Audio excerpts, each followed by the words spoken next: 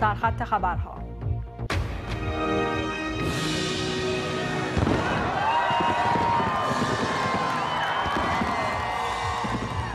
پذیرش رسمی نامزدی حزب جمهوری خواه در انتخابات ریاست جمهوری آمریکا ترامپ از تصمیمش برای خروج از برجام و کشتن قاسم سلیمانی دفاع کرد.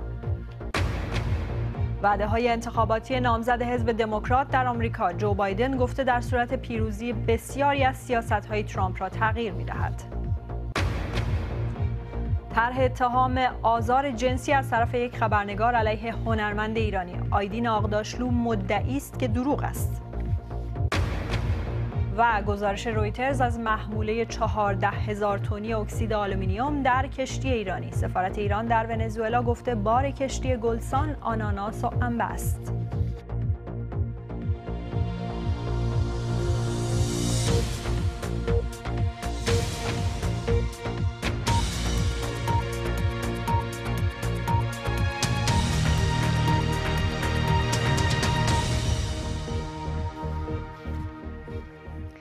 سلام به این بخش خبر. خوش آمدید. من ناجی غلامی هستم. دیشب در آخرین شب مجمع انتخاباتی حزب جمهوری خواه دونالد ترامپ در نطقی از کاخ سفید رسما نامزدی این حزب در انتخابات ریاست جمهوری را پذیرفت. او در این سخنرانی بار دیگر از توافق اتمی ایران برجام انتقاد و از تصمیمش برای کشتن قاسم سلیمانی فرمانده نیروی قدس سپاه پاسداران دفاع کرد. هادی نیلی خبرنگار ما در محل این گرد همایی گزارش می‌دهد. دونالد ترامپ هر شب در مجمع انتخاباتی جمهوری خواهان حاضر شد ولی شب آخر با سخنرانی که بیش از یک ساعت طول کشید برایش معنی دیگری داشت. از جمعیت چندین هزار نفری همیشگی چنین مراسمی خبری نبود ولی حدود 1500 نفر جمع شده بودند. نچندان پایبند به فاصله و ماسک در دوره کرونا. مراسمی انتخاباتی با چنین پس زمینه چشمگیری در کاخ سفید غیر متعارف و به زعم برخی غیر قانونی هموطنان آمریکایی من امشب با قلبی سرشار از قدردانی و خوشبینی بیکران با افتخار نامزدی انتخابات رئیس جمهوری ایالات متحده را میپذیرم. گفت این انتخابات مهمترین دوره انتخاباتی تاریخ کشور است. بیش از چهل بار نام رقیبش جو بایدن را آورد در حالی که او یک بار هم نام دونالد ترامپ را در نطق مشابه خود نیاورده بود. بایدن یک اسب ترواست برای سوسیالیسم. اگر جو بایدن نمی‌تواند جلوی مارکسیست های چشم دریده مثل برنی ساندرز و بقیه رادیکال ها که زیادند بایستد پس چطور می‌خواهد از حق شما دفاع کند؟ نمی کند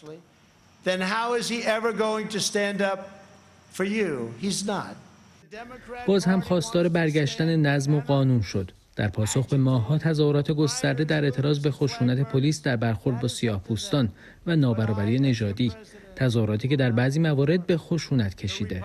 با فهرست کردن آنچه دستاوردهای خود در مذاکرات تجاری اصلاحات برای عدالت قضایی و در خاورمیانه توصیف کرد همچنین به دستورش برای کشتن قاسم سلیمانی فرمانده وقت نیروهای برونمرزی سپاه پاسداران اشاره کرد.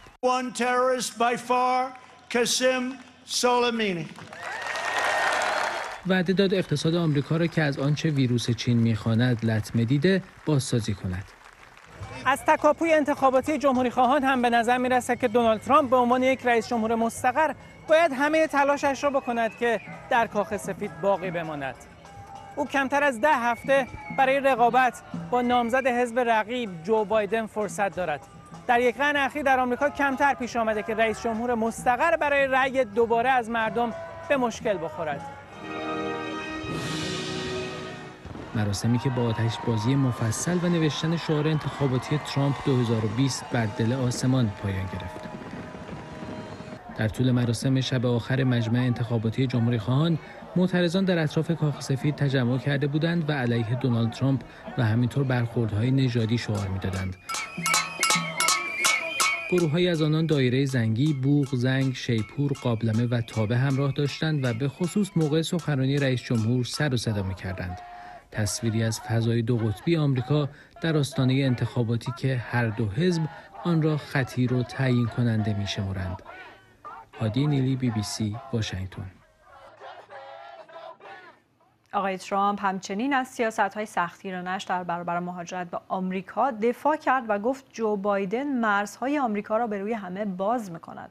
همکارم بهمن کلباسی از نیویورک با ماست. بهمن این سیاست مرزهای بازی که دونالد ترامپ در موردش صحبت می‌کنه و اونو اطلاق می‌کنه به آقای بایدن آیا در کمپین های انتخاباتی جو بایدن بهش اشاره شده؟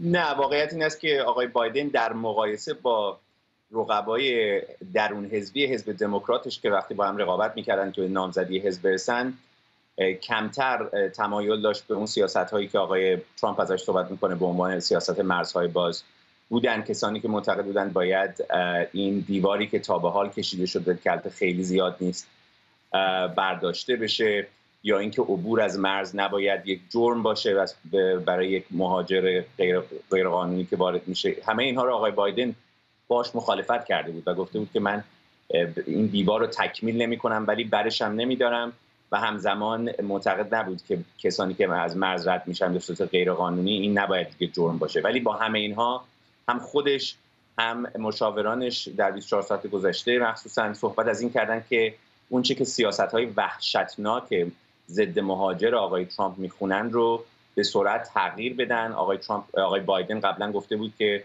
اون ممنوعیت ورود برای ایرانیان و شهروندان چند کشور عمدتا مسلمان دیگر رو به محض اینکه وارد کاخ سفید بشه در روز اول لغو خواهد کرد. سیاست هایی که ورود پناهجویان رو عملا متوقف کرده یا تعدادشون رو بسیار بسیار کاهش داده اونها رو هم تغییر خواهد داد. ولی مشخص نیست که همه سیاست های آقای ترامپ رو بتونه به سرعت عوض کنه. بعضیش زمان می‌بره بعضیش نیاز به تصویب قانون داره.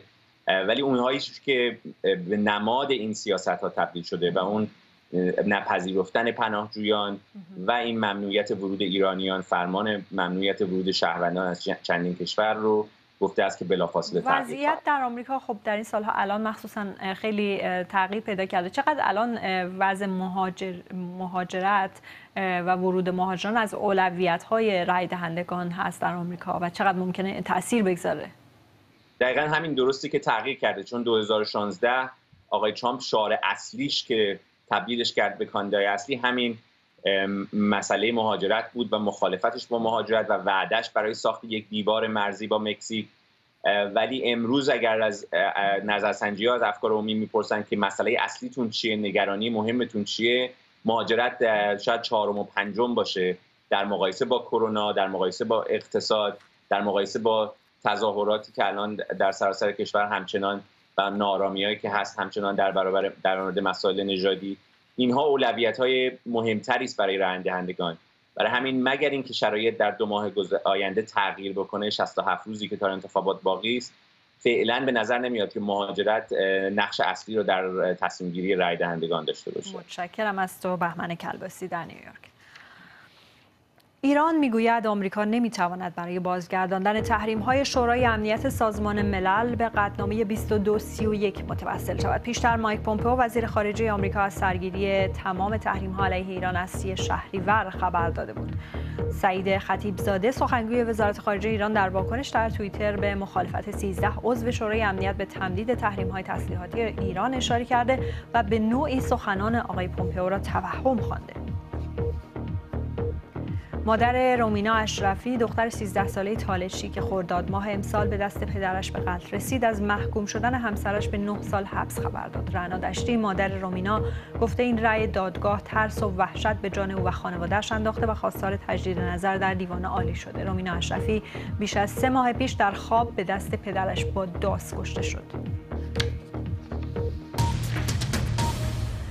آیدین آقداشلو نقاش سرشناس ایرانی با انتشار بیانیه‌ای در حساب اینستاگرامش از خود در برابر اتهام آزار جنسی دفاع کرده است. آقای آقداشلو نوشته اتهامی که یک روزنامه‌نگار زن به او وارد کرده را رد می‌کند و حق اعتراض حقوقی خود را محفوظ می‌داند. سارا متلی روزنامه‌نگار سابق هفته گذشته در توییتر خود نوشته بود 14 سال پیش آقای آقداشلو در دفترش به او تعرض کرده. جزئیات بیشتر در گزارش فرنوش امیرشاهی موجی که روایت های تجاوز، تعرض و آزارهای جنسی در شبکه های اجتماعی به راه انداخته حالا فراگیرتر شده و سکوت قربانیان بیشتری را شکسته. به تناسب آن کسانی که نامشان به عنوان آزارگر و متجاوز جنسی مطرح شده به تدریج در حال پاسخگویی‌اند. آخرین نمونه آن بیانیه آیدین آقداشلو نقاش سرشناس ایرانی است در رد اتهام آزار جنسی به یک روزنامه نگار زن آقای آقداشلو در بیانیه که دیشب در صفحه اینستاگرامش منتشر کرد گفته که خودش را انسان کاملی نمی‌داند اما در زندگی شخصی و اجتماعیش خواسته و تحمیل جنسی نسبت به کسی نداشته او گفته که به دفاع از خودش ادامه می دهد و شکایت قانونی را حق خود می داند. واکنش آقای آقداشلو به روایت سارا و متلی بود. این روزنامه نگار سابق هفته قبل در توییترش نوشته بود وقتی در ایران به عنوان خبرنگار هنری برای تهیه یک گزارش به دفتر آیدین آقداشلو مراجعه کرده از سوی او مورد تعرض و آزار جنسی قرار گرفته. سارا و متلی به بی بی سی می‌گوید قصد شکایت رسمی از آقای آقداشلو را به دلیل روند طولانی قضایی و دلایل تکنیکی پرونده ندارد. این اتهام هنوز در هیچ دادگاهی مطرح نشده. آقای آقداشلو تا لحظه تنظیم این گزارش به تماس بی بی سی فارسی در این باره پاسخ نداده است. در چند هفته گذشته گروهی از کاربران در شبکه های اجتماعی از تجربه های شخصی خود درباره تجاوز و آزار و بدرفتاری های جنسی گفتند. تعدد این روایت ها و تاثیر شبکه های اجتماعی باعث شد صدای آنها این بار به افکار عمومی برسد. در یک مورد پلیس وارد عمل شد و کیوان امام وردی معروف به کیوان امام را به اتهام آنچه شکایت های متعدد زنان در فضای مجازی از تعرض جنسی او خواند دستگیر کرد. اولین بار نیست که کسی به این اتهام بازداشت می شود اما عموما چنین پرونده هایی سرنوشت مشخصی ندارند. در قانون ایران اثبات تجاوز کاری سخت و حتی ناممکن و حمایت از قربانیان آن هم حداقلی. آمار تجاوز در ایران هم نامشخص است. اخیرا سعید مدنی جامعه شناس به روزنامه شرق گفته مطابق یک گزارش بیشترین آمار تجاوزها در استان تهران است و گفته شده سالانه حدود 1650 جرم جنسی در تهران اتفاق می افتد. با این حال او گفته بیش از 80 درصد از موارد آزار تجاوز گزارش نمی شوند. قربانیان تجاوز به دلیل ترس از بیابرویی و یا قضاوت جامعه ترجیح می دهند که بار تجاوز را به تنهایی به دوش بکشند. در خیلی موارد هم افراد نمی‌دانند که مورد یکی از انواع آزارهای جنسی قرار گرفتند. آگاهی تو جامعه ما خیلی خیلی کمه یه بخشی از سن منم که میگذشت اصلا اطلاع نداشتم وقتی یه سری از این مسائل رسانه شد تازه فهمیدم چی هستش در غیبت آموزش های جنسی و خلاهای قانونی شبکه های اجتماعی گسترده و بدون سانسور جای نهادهای رسمی را گرفتند. با این حال هرچقدر کاربران بیشتری از تجربیاتشان گفتند هنوز مقام های قضایی و دولتی در این باره سکوت کردند. فرنوش امیرشاهی بی بی سی همکارم روجا اسدی با ماست با گذشت چند روز از طرح این موضوع در شبکه های اجتماعی همچنان می‌بینیم که این موضوع خیلی داغ هست. روجا بیشتر بگو که واکنش کاربران چیه؟ نجیه دیشب که آقای آقداشلو بیانی بیانیش رو داد و تمام اتهامات رو رد کرد ای از کاربران از آقای آقداشلو حمایت کردن و درباره کارهایی که تو زمینه آموزش و حفظ هنر ایران انجام میده صحبت کردن و گفتم به جای تقدیر از چنین آدمی اینطور باش برخورد میشه. اما در مقابل بعضی که قانع نشده بودن گفتن از سارا اومتلی شخصی که آقای آقداشلو رو به آزار جنسی متهم کرده بود حمایت کردن و گفتن اینکه شخص متجاوز چه کاره است از چه خانواده چه اعتقادات چه اعتقاداتی داره ربطی به این موضوع نداره و موضوع اصلی رو از به حاشیه میکشونه. اما به غیر از مطرح شدن این اتهام ها بحث های دیگه ای هم در گرفته و همطور که گفته یک موجیه که آغاز شده و به نظرم می‌رسه همچنان ادامه داره. مثلا بحث حقوقی مسئله تجاوز و آزار جنسی در شبکه اجتماعی مطرح شده. اینکه در قوانین ایران تعریف تجاوز و آزار جنسی چیه؟ یا اینکه فرد مورد تجاوز قرار گرفته چطور می‌تونه ادعای خودش رو ثابت کنه؟ که ما هم در بی بی سی در چند روز گذشته این موضوع رو از نظر حقوقی بررسی کردیم و با کارشناس حرف زدیم. مثلا سر موضوع کیوان امام که مطرح شدن اتهامات تجاوز جنسی بهش تو توییتر منجر به بازداشته شد. کاربران تو شبکه های اجتماعی صحبت از این کردن که افراد چطور باید شکایتشون رو ثبت کنن چطور می‌تونن تجاوز ثابت کنند یا اینکه به عنوان شاهد باید برن یا به عنوان شاکی باید برن که بعد مواظب باشن چه چیزی بگن که خودشون به جرم خوردن شراب یا رابطه نامشروع به دردسر نیافته. خیلی این جزئیات داره بحث میشه و این موضوع مطرح میشه که کسانی که میان از تجربه های آزار جنسیشون میگن چقدر انسان های شجاعی هستن. برای اینکه این کارو میگن با وجود تمام این حرفا رو می‌زنن با وجود تمام تابوها و تمام مشکلات با این حال این حرفا رو که می‌زنن موجب میشن که زنان دیگه هوشیار بشن و فرد متجاوز به راحتی نتونه کارش رو تکرار کنه. توی این مدت روایت های متفاوتی مطرح شده و نام اشخاص متفاوتی به وسط اومده. از از نویسنده و شاعر گرفته تا معلم قرآن و استاد دانشگاه و مدیر شرکت های بزرگ خیلی نام های متفاوتی میاد و برای همین بعضی از کاربران الان ابراز نگرانی دارن می‌کنن که این خیلی خوبه که این بحث ها مطرح شده و در نبود خلع و مشکلات قانونی فضای مجازی یه جوری داره این رو پر می‌کنه و فرصت میده که درباره این حرف بزنن. اما لبه دیگه تیغ به قول معروف اینه که ممکنه اسم افرادی مطرح بشه که بیگناه هستند و دلیل مطرح شدن اسمشون چیزهای دیگه ای باشه و فقط می‌خوان اینها رو بی آبرو کنن و اعتبارشون رو از بین ببرن. بنابراین این بر قضیه هم باید حواسمون بهش باشه که وقتی اسمی مطرح میشه همینطور تکرار نکنیم اسمو و منتظر مستندات باشیم و منتظر چقدر چه تعداد کاربر در مورد این موضوع صحبت می‌کنن. ممنونم. از تو رجا اسدی نگاهی دوباره به مهمترین عناوین خبری این برنامه دونالد ترامپ رسما نامزدی حزب جمهوری خواه در انتخابات ریاست جمهوری آمریکا را پذیرفت. جو بایدن گفته در صورت پیروزی در انتخابات ریاست جمهوری آمریکا بسیاری از سیاست های فعلی ترامپ را تغییر می دهد. در ادامه برنامه کشورهای اروپایی تهدید روسیه علیه معترضان در بلاروس را محکوم کردند.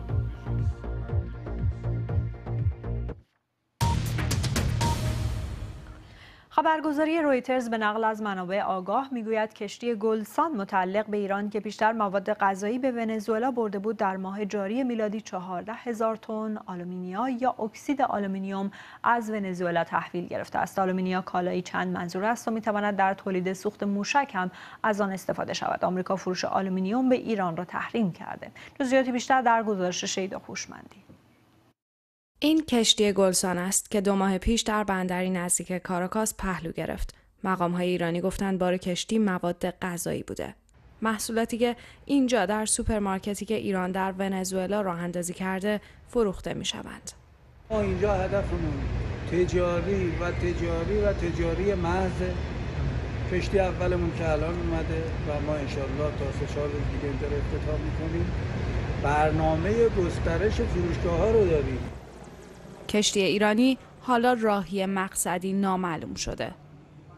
با باری که خبرگزاری رویترز به نقل از منابع آگاه می‌گوید 14 هزار تن اکسید آلومینیوم یا آلومینا است. فلزی با مصرفی فراگیر در صنایع مختلف از جمله ساخت موشک و فعالیت‌های هسته‌ای. رویترز می‌گوید کشتی را شرکتی ایرانی با نام رهبران امید اداره می کند که در فهرست تحریم های امریکا قرار دارد. این کشتی حالا دست کم دو هفته است که رادار خود را خاموش کرده.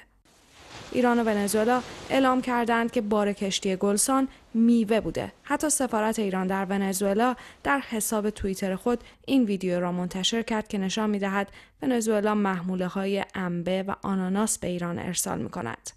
اما حالا بار کشتی ماده است که امریکا فروش آن را به ایران تحریم کرده.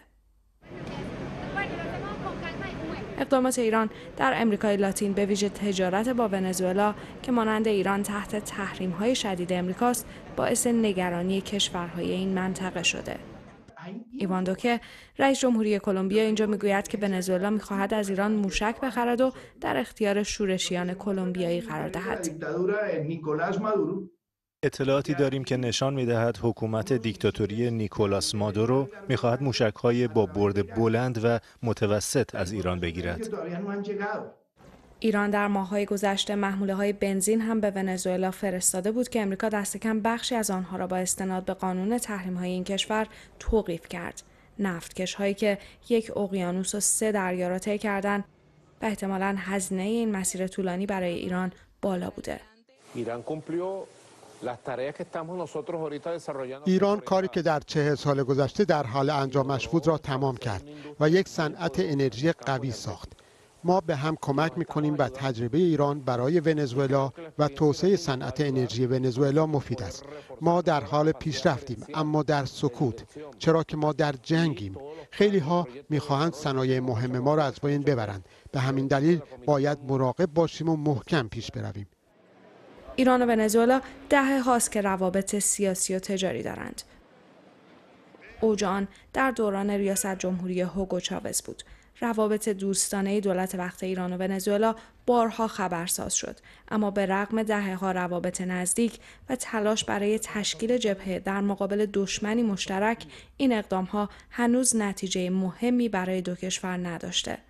صفهای تحویل فروش بنزین در ونزوئلا کشوری که یکی از بزرگترین ذخایر انرژی فسیلی را در جهان دارد هر روز بلندتر می شود. هر دو کشور برای یافتن متحد استراتژیک در مبادلات تجاری و بهبود شرایط زندگی مردم خود اقبال چندانی ندارند و اقتصاد هر دو کشور روز به روز کوچکتر می شود. شیدا هوشمندی بی بی سی با پیدا شدن شش جسد دیگر از زیر آوار شمار جان باختگان سیلاب های اخیر در افغانستان به 157 نفر رسیده. وزارت دولت در امور رسیدگی به حوادث گفته با توجه به اینکه عملیات جستجو در ولایت های پروان و کاپیسا متوقف نشده، احتمال افزایش تلفات هنوز وجود دارد. برخی خانواده های آسیب دیده هم گفتند کمک های دولت و نهادهای غیر دولتی به دستشان نرسیده. روین رهنوش گزارش می‌دهد. زندگی این روزهای مردم پروان با مرگ گره خورده. سه روز پس از سرازیر شدن سلاب، خاکسپاری همچنان ادامه دارد. کشته هایی که اغلب اعضای یک خانواده اند. خانواده های هم می توان یافت که فقط یک عضو آن باقی مانده. هفت تا دیروز گور کردیم، شش تا دو تیشم رس پیدا کردیم نه. در خواندگی هیچ کسی نمانده. کل زندگی ما رفت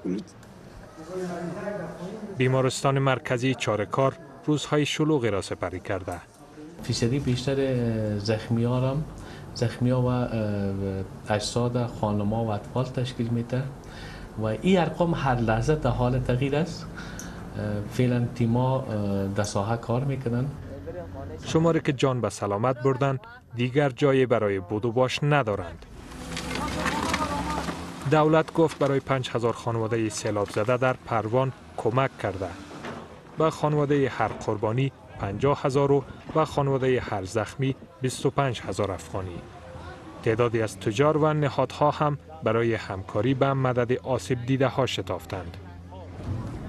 به جز پروان، دوازده ولایت دیگر افغانستان هم شاهد سیلاب بود. وزارت دولت در امور رسیدگی به حوادث گفته تا نیمه هفته جدید هم احتمال سرازیر شدن سیلاب در این ولایت ها وجود دارد. روین رهنوش بی بی سی کابل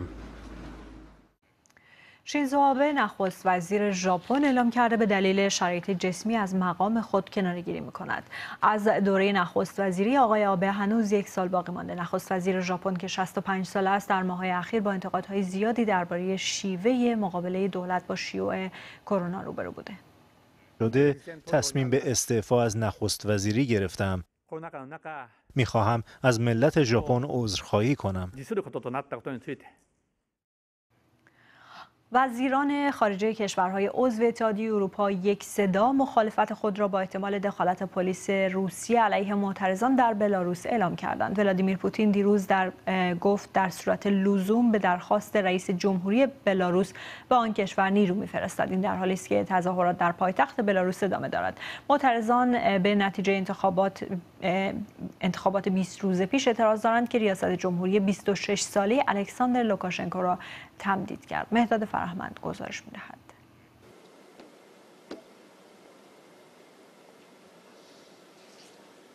گرد همایی وزیران خارجه اروپایی معروف به نشست گومنیش که 46 سال است هر شش ماه یک بار برگزار می شود.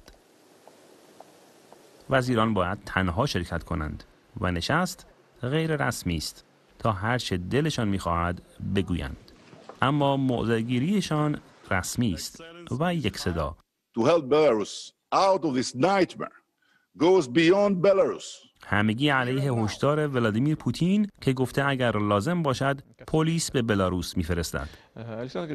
آقای پوتین دیروز در تلویزیون دولتی روسیه گفت که دست دخالت خارجی را پشت ناآرامی در بلاروس می‌بیند. این دیگه الان کاملا واضحه که کار سازمان های اطلاعاتی بوده. ادهی رو با ظاهر قانونی و به عنوان کمک به کشورهای جهان سوم به بلاروس فرستادن اما در واقع کارشون اخلال در انتخابات بود. الان دیگه ثابت شده که این کار مشترک سازمان اطلاعات اوکراین و سازمان اطلاعات آمریکا بوده. حرف آقای پوتین یادآور نظریه قدیمی نقش غرب در راه اندازی انقلابهای رنگی و مخملی است. اما به باور برخی ناظران انقلاب بلاروس مخملی تر از آن است که پیروز شود.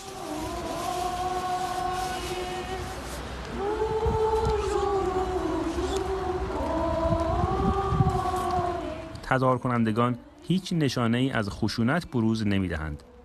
زنجیره انسانی درست می کنند، به سربازها گل می دهند، به راهپیمایی و شعار بسنده می کنند. در حالی که آقای پوتین گفته پلیس را در صورتی میفرستد که شیشه شکستن و آتش افروختن و حمله به اماکن عمومی آغاز شود. پیداست تظاهر کننده ها دانسته از چنین اقداماتی پرهیز می کنند تا بهانه‌ای به دست روسیه نیفتد.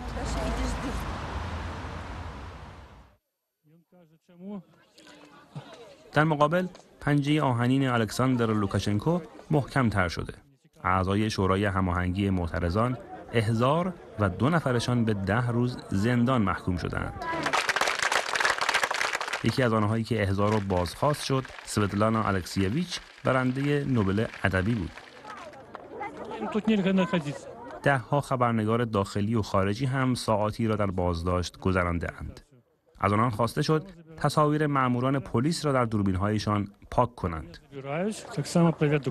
تظاهرات مسالمت آمیز در برابر دولتی مصمم که محکم سر جایش ایستاده با اعتصاب عمومی است که می‌تواند به سوی موفقیت پیش برود. اما اعتصاب کارگران دو سه کارخانه بزرگ رو به رنگ باختن نهاده. آقای لوکاشنکو کارگران را تهدید کرده که اگر اعتصاب کنند اخراج می شوند. به جایشان از اوکراین کارگر می آورند که بیکار زیاد دارد. مرتاد فرهمند بی بی سی. می‌رسیم به پایین این بخش خبر. ممنون که بیننده تلویزیون فارسی بی بی سی هستید.